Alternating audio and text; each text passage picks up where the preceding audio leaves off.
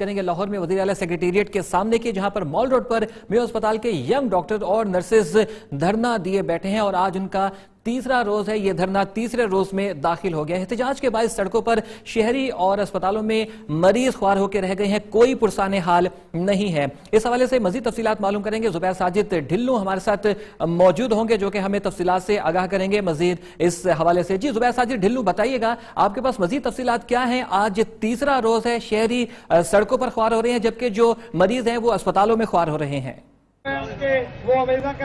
شبی مال road club چوک پر میں موجود ہوں۔ یہاں پہ جو ینگ ڈاکٹرز ہیں میو ہسپتال کے وہ آج تیسرے روز میں ہو گیا ہے وہ بیٹھے ہیں۔ شہری ہیں جو ٹریفک کی روانگی ہے متاثر ہوئی ہے۔ آج صبح ہم نے دیکھا ایمبولیسز جہاں پہ پریشانی کا سامنا کرنا پڑ رہا تھا۔ اس کے علاوہ جو دفاتر جانے والے تعلیمی اداروں میں جانے والے لوگ تھے ان کو کافی پریشانی کا سامنا کرنا پڑا۔ دوسری جانب اگر ڈاکٹروں کی بات کریں تو ڈاکٹر جو ہیں وہ سراپا احتجاج ہے انہیں تیسرا روز ہو گیا ہے آج۔ وہ کہتے ہیں ہمارے جو لوگ معطل کیے گئے تھے، ان کو بحال نہیں کیا گیا، تو تب تک ہم یہ دھرنا نہیں چھوڑیں گے۔ دوسری جانب ان کے ساتھ ہی واٹر مینجمنٹ کے جو لوگ تھے، ان کی ریلی جناح باغ جناح سے نکلی تھی اور کلب چوک پہنچ کر یہ بھی دھرنے کی شکل اختیار کر گئی ہے۔ میرے عقب میں بھی دیکھ سکتے ہیں کہ جو واٹر مینجمنٹ کے لوگ ہیں، وہ اس وقت بیٹھے ہیں اور دھرنا دیے ہوئے ہیں۔ یہ ایسے لگ رہا ہے کہ یہ کوئی مال روڈ نہیں ہے، یہ کوئی یہاں پہ میلہ لگا ہوا ہے، لوگ یہاں پہ بیٹھے ہوئے ہیں۔